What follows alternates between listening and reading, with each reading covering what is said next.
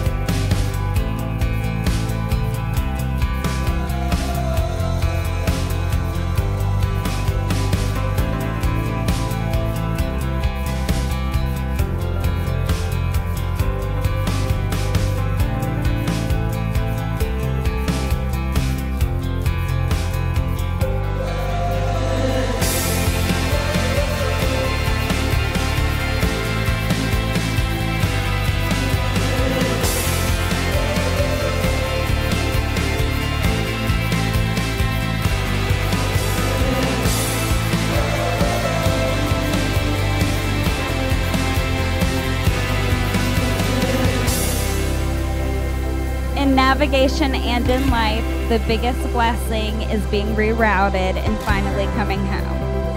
So, cheers to coming home, to a lifetime of happiness, Stephanie and DR.